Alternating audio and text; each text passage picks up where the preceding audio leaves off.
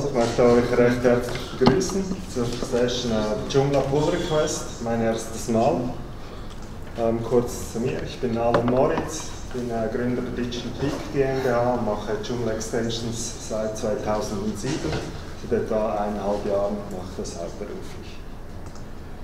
Ähm, zur Agenda von heute, ich werde kurz einen Überblick geben, dann die Terme VMs, VirtualBoxen und Vagrant erklären und erklären, wie man äh, Dateien zwischen virtueller Maschine und Host-System einfach äh, austauschen kann.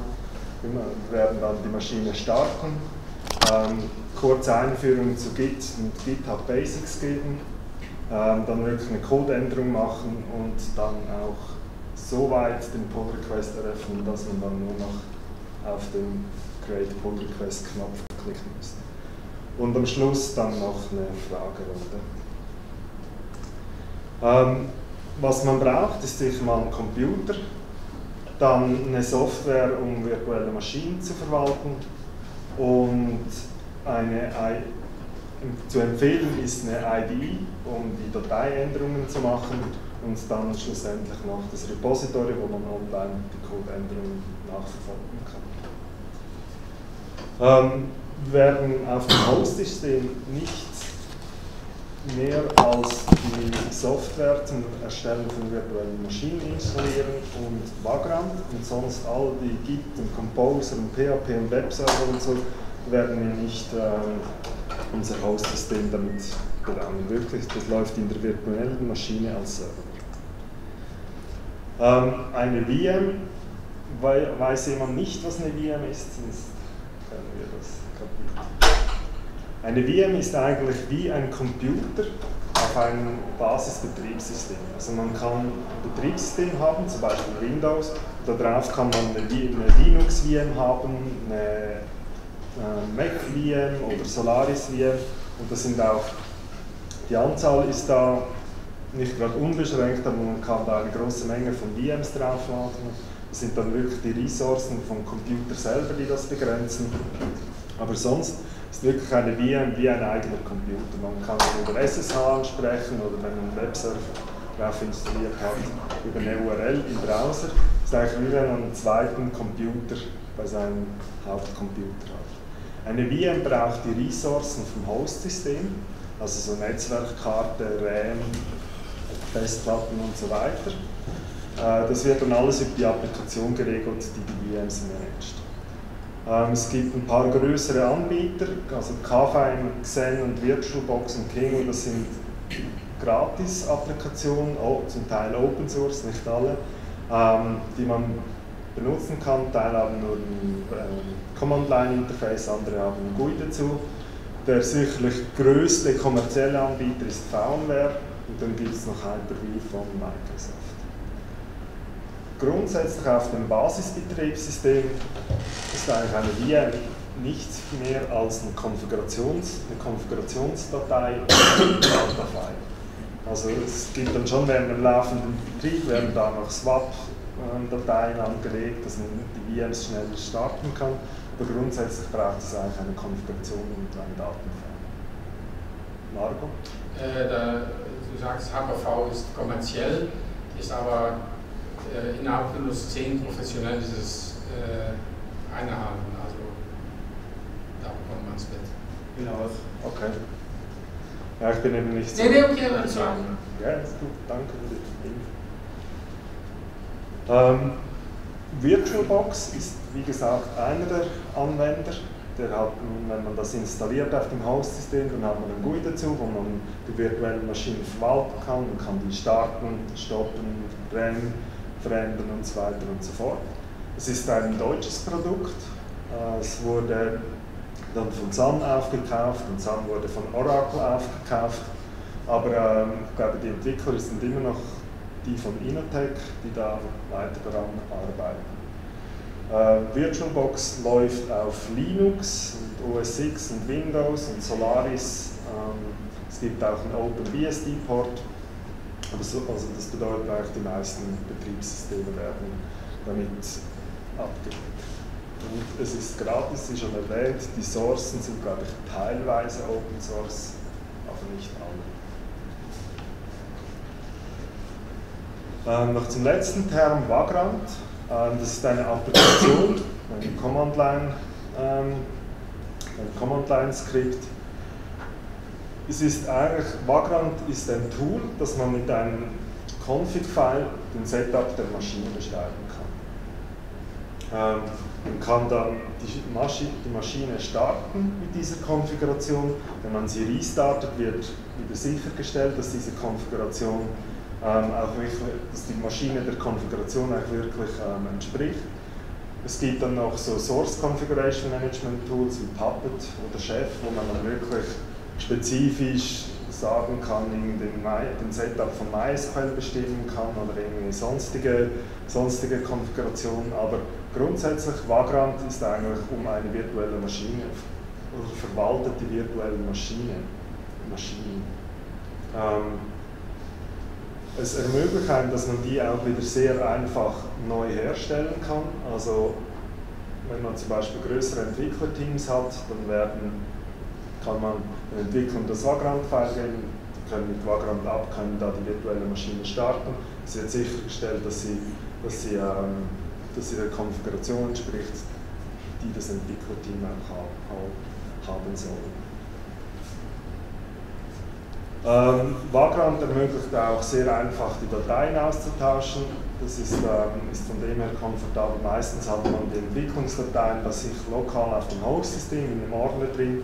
Dann kann man die sehr einfach dann ähm, in die VM reinlegen, dass die da klickbar sind. Wir werden dann das nachher noch sehen in der Live-Demonstration. Es gibt auch verschiedene Methoden, um diese Dateien zu synchronisieren. NFS ist sicher die performanteste. rsync und dann Windows Shares. Die Edits sind direkt, bidirektional, also wenn ich, ein, wenn ich auf der VM eine Datei abändere, die ich auf das Host-System gemappt habe, dann direkt auf dem Host-System verfügbar und umgekehrt. Ja, also wenn Fragen sind oder so, ruhig melden. Ja, ist kein Problem, ist man nicht alles auf, den, auf das Ende verschiebt um eine Maschine zu starten. Ähm, wenn wir eine Maschine für die Joomla-Entwicklung haben wollen, dann ist da von Joomla Tools die Vagrant-Box zu empfehlen. Die hat eigentlich alles drauf, was man braucht. Sie kommt, das ist eine Ubuntu 14 Serverinstallation, da ist Git drauf, Composer, PHP, Apache, MySQL, ist alles wirklich vor aufgesetzt und vorinstalliert. Äh, man kann da auch einfach ähm, Ordner synchronisieren, man muss dann nur eine config.custom.yaml-Datei in den Ordner anlegen, wo die Joomla-Box drin laufen soll und dann wird das Mapping automatisch gemacht. Ähm, wie gesagt, um die Maschine zu starten, braucht man nur Vagrant und VirtualBox auf dem Host-System. Ähm, für die beste Performance für den Dateiaustausch wird der NFS-Server äh, empfohlen. Es ist unter äh, Linux ist das sehr einfach zu installieren, Windows weiß ich nicht. Und dann, um die Maschine wirklich zu starten, macht man zuerst ein Vagrant Init, das lädt von einem, von einem Online-Repository, lädt das äh, die Konfiguration herunter, die Joomla-Tools für uns vorbereitet hat und dann muss man eigentlich nur noch Vagrant abmachen und die Maschine sollte dann starten. Wir das mal so demonstrieren. Sieht man es? Da noch ein bisschen größer machen. So besser. Ich gehe mal da in den Ordner, Joomla-Box. Habe jetzt da, weil das Herunterladen der VM seine Zeit braucht, habe ich da schon einen vorbereitet. Da muss ich das Vagrant Init nicht mehr ausführen. ausführen. Dann kann ich dann nur Vagrant abmachen und dann startet meine, meine Maschine. Es wird ein Check gemacht, ob, äh, die Konfiguration noch up-to-date ist, mit dem, was auf dem Online-Repository ist. Das ist von HashiCorp, ein Repository, das ähm, ähnlich wie Package ist von der Composer, wo man da seine Konfiguration raufladen können, kann und dann können andere die verwenden. Wie gesagt, Joomla Tools hat da schon eine für uns gemacht und ich verwende jetzt die da. Was ich jetzt eingeben muss, ist mein Passwort, weil für das NFS-Mount muss man Root-Rechte haben. Ähm, man kann das zum Beispiel auf meinem Computer zu Hause, wo ich, äh, wo ich meistens entwickle, habe ich einen Cronjob als Root eingerichtet, der das Skript startet. Dann habe ich eigentlich immer jedes Mal, wenn ich einen Computer starte, komplett komplett Webserver gestartet. Und seht dann hier eben, er mappt da noch die neue Logo, mappt die Ordner, sagt, stellt da sonst noch ein paar, lädt noch Inline-Scripts und am Schluss wird Apache nochmals gestartet. Wenn ich da ins Webserver gehe, sehe ich das ist jetzt die Web-Maschine, wird ein Dashboard geöffnet und ich habe dann gleich Zugriff auf PHP MyAdmin, Mailcatcher, PHP Info und was auch immer ich tue. Rechts sehe ich meine installierten Instanzen äh, mit der Joomla-Version, die da, die da drauf ist und dann kann ich da einfach, habe ich dann Zugriff zu, zu, den, einzelnen, zu den einzelnen Applikationen. SSH ist auch verfügbar.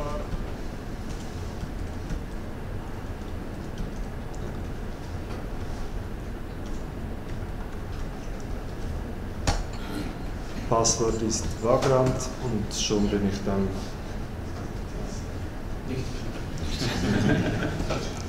und schon bin ich dann in der Box drin. Es gibt da noch so ein paar äh, Fehlermeldungen, aber also es sind keine Fehlermeldungen in der Warnungs, weil da lokal nicht schienen, aber die können ignoriert werden.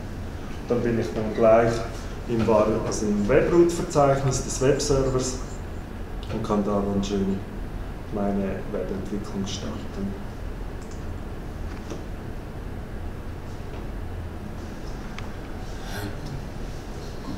da soweit Fragen dazu? Weiter. Äh, machen so weit, bis wir dreimal den Daumen hoch, hoch haben. Jetzt haben wir die erste Etappe geschafft. Ähm, die zweite folgt sogleich. Äh, Git. Git ist ein Werkzeug, um Source Code Verwaltung zu betreiben.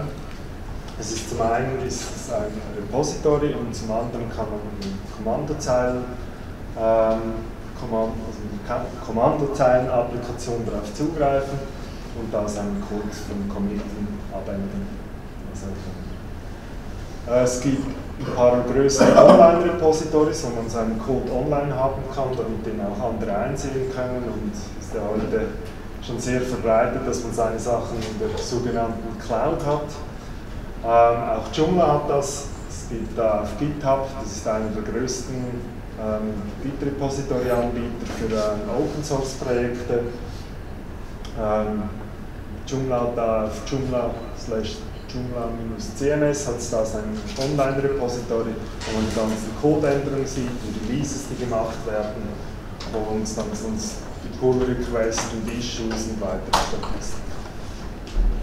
Wenn wir jetzt einen Pull-Request machen wollen, ähm, dann können wir das nicht direkt mit Joomla CMS machen.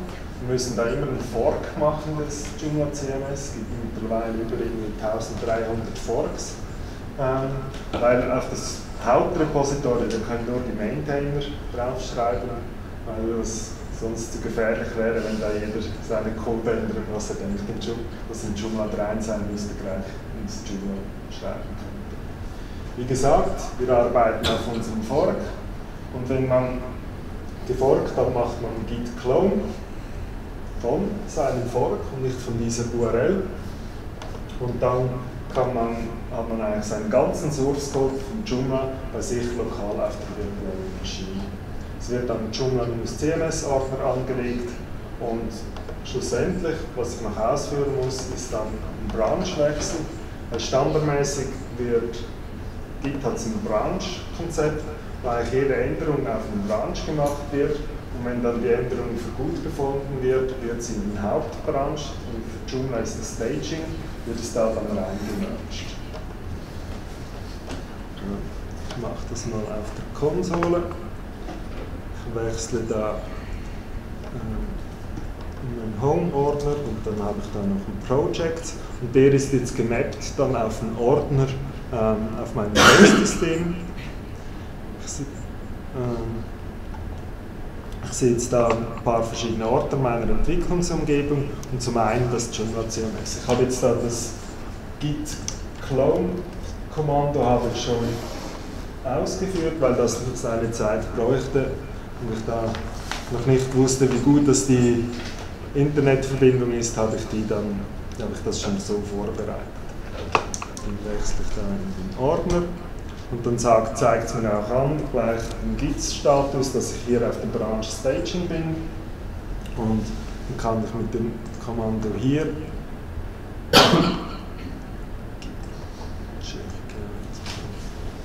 dem Checkout-Kommando kann ich dann einen neuen Branch anlegen, der auf dem Staging-Branch basiert und da mache ich dann meine Änderungen drin. Weil ähm, man muss eigentlich immer seine Änderungen in einem separaten Branch machen, weil man den Staging-Branch immer sauber halten will und der dann von Zeit zu Zeit wieder synchronisiert mit dem Joomla Hauptrepository.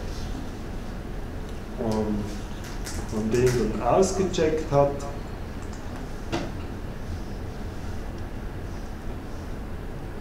kann man dann noch ähm, so einen symbolischen Link anlegen von, auf meiner VM, von meinem Ordner, von meinem Projects-Ordner in das Webroot und dann können wir dann eine Joomla-Installation machen.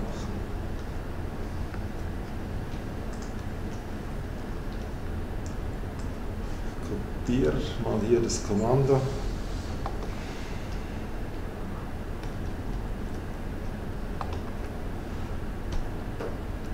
Wenn ich jetzt in meinem Browser dann hier CMS eingebe, dann kommt der Joomla-Installer und das ist jetzt eine Joomla-Installation, die in meinem Joomla CMS, von meinem Joomla CMS-Ordner gemacht wird. Finden da die, die Angaben ein, setze Benutzernamen und Passwort das Admin und Admin. Gebe dann hier für die Datenbankkonfiguration kann ich da root verwenden und das Passwort ist auch root, das ist äh, standardmäßig von Joomla Tools gesetzt. Gebe da noch einen Namen, einen Präfix, was gerne uns einfach ist. Und dann mache ich eine Joomla-Installation. Ja, ja. Ich möchte mal zurückgreifen auf das ganze Git-Command-Zeilen äh, Magic. Äh, wenn man eine IDE benutzt, zum Beispiel PHP Storm, dann geht das alles über GUI. Dann braucht man sich diese Magic nicht zu merken, kann man das einfacher mit GUI machen. Mhm. Ja, ich werde das dann noch kurz erwähnen. Ich habe hier in meinem Vortrag gemacht, das halt mit dem Kommandozeilen auch zum aufzuzeigen, dass man eigentlich alles in der VM drin kann machen. Aber das ist schon so, mit GUI ist es viel komfortabler. Und in der, was in der GUI bis zur letzten Version, äh, zumindest für PHP Storm, unkomfortabel war, war das Rebesen seiner lokalen, äh, eines lokalen Forks. Aber dazu hat PHP Storm jetzt auch eine Funktion, da kann man seinen lokalen Fork rebasen und wieder synchronisieren. Da braucht man, das war vor kurzem musste man da noch zur gewandelten Zeile zurückgreifen, aber jetzt braucht man das auch nicht mehr. Okay. Und man kann auch direkt aus bis zum Pull Request machen. Ah ja? Ja. Okay. Ja, eben, es gibt, ja. es gibt da sehr. Es gibt immer mehrere Wege. Ja. Ich bin beim Git bis dann nicht zurechtgekommen, ich habe Git-Kraken genommen. ja, eben, es, es, muss jeder, jeder ein bisschen seinen Weg finden, wie er mhm. das, das da für sich selber löst. Ähm, es wird auch im Nachhinein gibt es noch einen Vortrag von Benjamin und Elisa, die zeigen das Ganze auf im Pull Request auch ohne irgendwie ein Tool machen kann, aber rein auf der Webseite.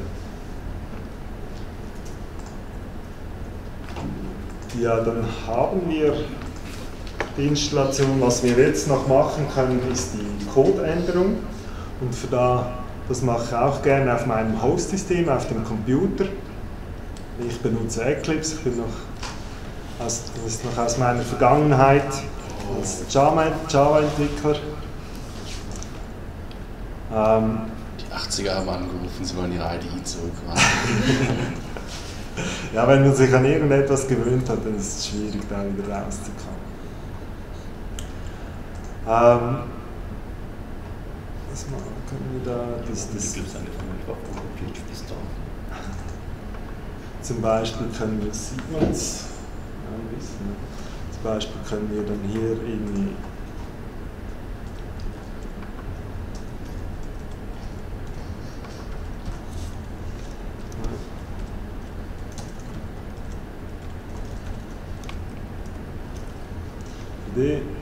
das speichern und dann hier gehe ich auf die Seitenansicht und sehe hier dann meine Codeänderung zwar nicht, wenn es der Alert, das nicht mehr Alert Error, ne? Schreibt es in Plain Bootstrap. ja, immer noch nicht besser. Ne? Ja, ebenfalls habe ich hier eine Codeänderung gemacht und die ist dann hier in der Datei ersichtlich. Ähm, ich kann dann mit Git Status sehen, was geändert wurde und das zeigt mir hier, das sieht man fast nicht, ne? das zeigt jedenfalls zeigt es mir, dass diese Datei geändert wurde. Git add diese Datei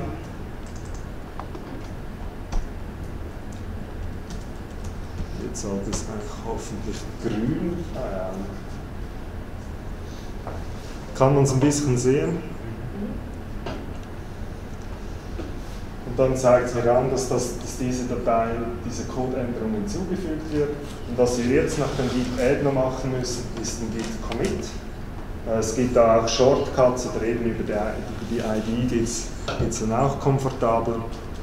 Aber mit Git Commit MSN ist der Old Way.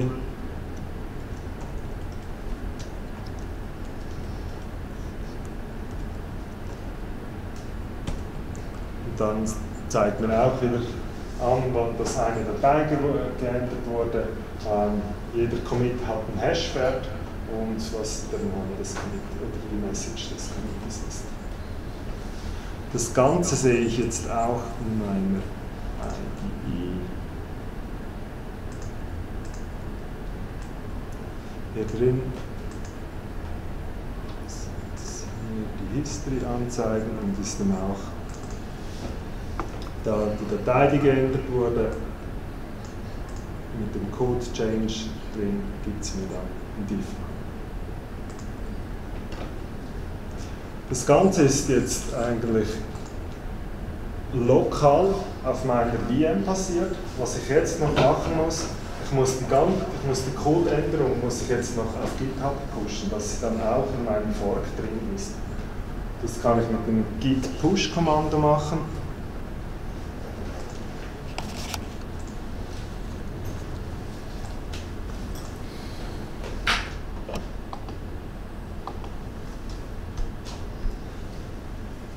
muss dann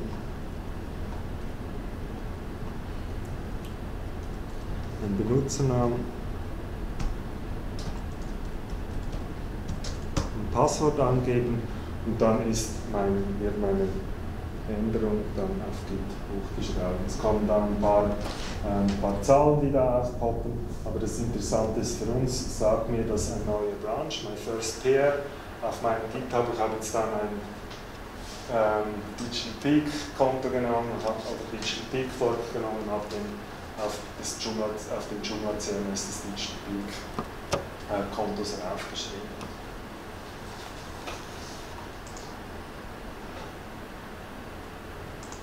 So, zweiten Daumen ist hoch. Jetzt fehlt dann noch der dritte. Was wir jetzt machen können, ist, ähm, wir sehen da auf GitHub zwei Screenshots. Ähm, wir können jetzt sehen dann die Codeänderung auf unserem Fork, auf dem Repository und können von dort her dann den Pull Request eröffnen. Ähm, kurz zum Pull Request. Da muss ein Titel angeben und eine Beschreibung. Die Titel soll möglichst aussagekräftig sein und die Beschreibung dann möglichst detailliert, nicht zu lange, aber zu detailliert, was der Pull Request macht. Und was dann sehr wichtig ist, sind die Testing Instructions, die man da angeben muss, weil ähm, umso einfacher und umso detaillierter man die Testinstruktionen angibt, umso größer ist, die Chance, dass man da den Pull-Request gemerged bekommt. Weil jeder Pull-Request, wenn der erstellt wird, werden da Units-Tests im Hintergrund gelaufen, äh, durchgeführt, Code-Checks, äh, sogar noch jetzt neuerdings JavaScript-Tests. Aber was das Wichtigste ist, es müssen zwei Leute müssen den Pull-Request bei sich lokal getestet haben, also so die sogenannten Human-Tests.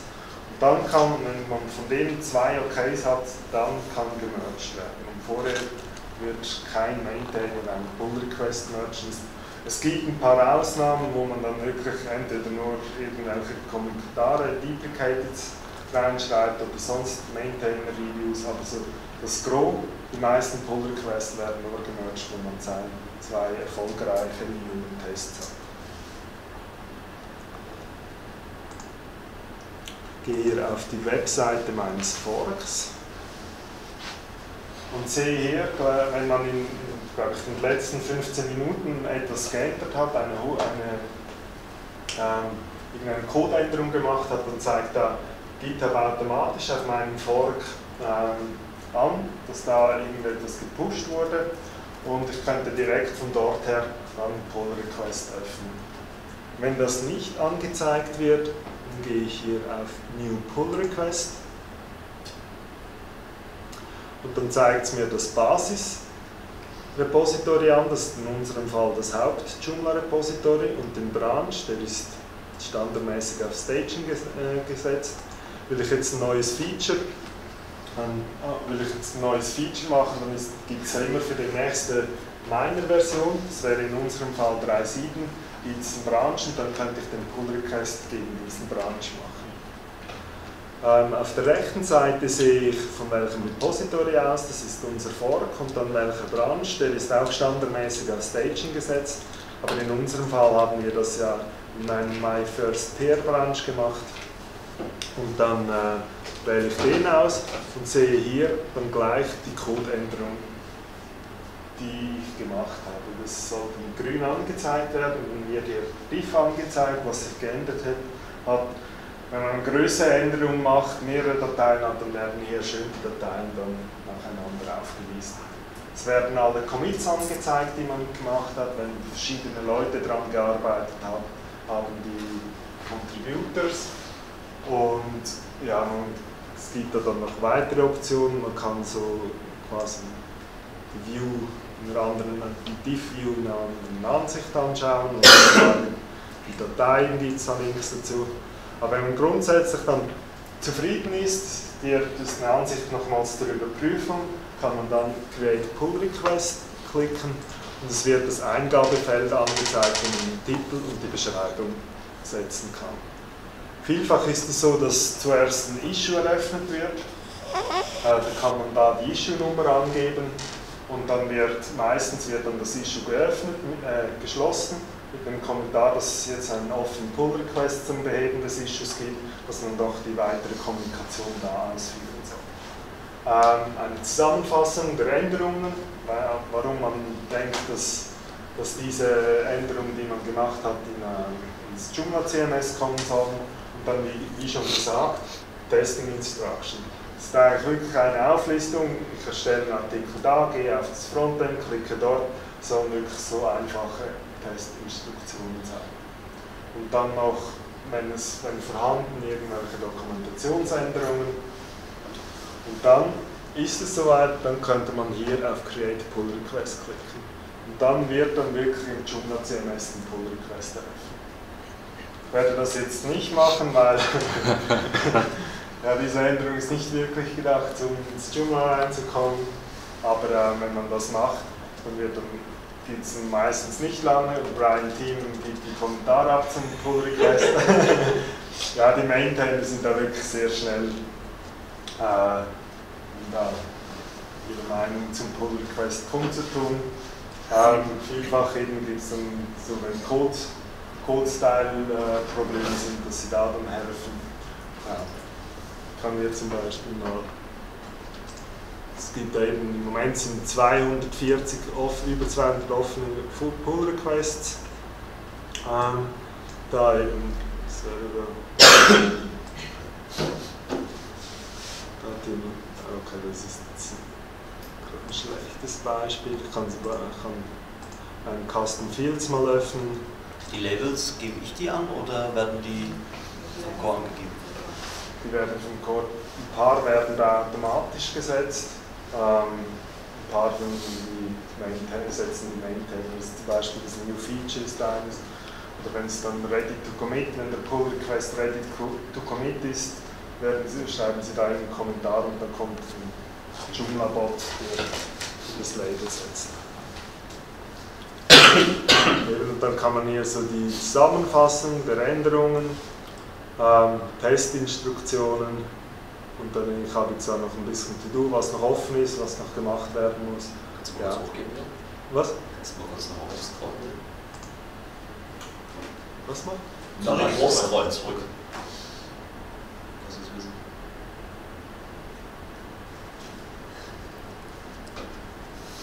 Ist gut?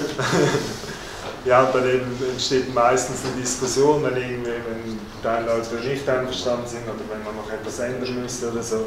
Sind dann hier alle Leute, die da, die da mit, mit, ähm, mitgeredet haben oder irgendetwas beigesteuert haben. Ja. Ähm, und wenn dann diese Pull Requests gemacht sind, dann sieht man dann hier wie sie gemerged werden. Ja, man kann dann, kann dann noch die Ansicht dann haben, wenn sie, wenn sie gemerged werden, dann hat dann wirklich jemand auf den Button geklickt und dann ist die Codeänderung drin. So. Unsere drei Daumen sind hoch. Wir haben unseren ersten Pull-Request erstellt.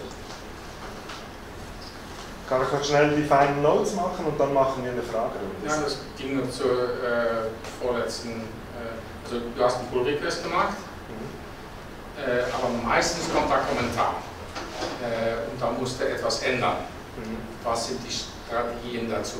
Äh, haben wir schon zwei oder wie, wenn ich was ändere, wie kommt das wieder in Pull Request? Denn die Antwort, aber für die Leute ist es sehr wichtig zu verstehen, wie das geht. Mhm. Ja, das ist noch eine gute Frage oder gute Anmerkung. Ähm, man kann dann einfach weiter die Codeänderung machen in der ID, so wie ich sie gemacht habe, und dann die wieder committen und pushen. Und dann, wenn man, sobald dass man etwas auf dem gleichen Branch, wo man den äh, Pull Request eröffnet hat, man, also in unserem Fall wäre das My First Pair, wenn man da wieder etwas committet, wird der Pull Request aktualisiert und die Änderung ist dann im Pull Request.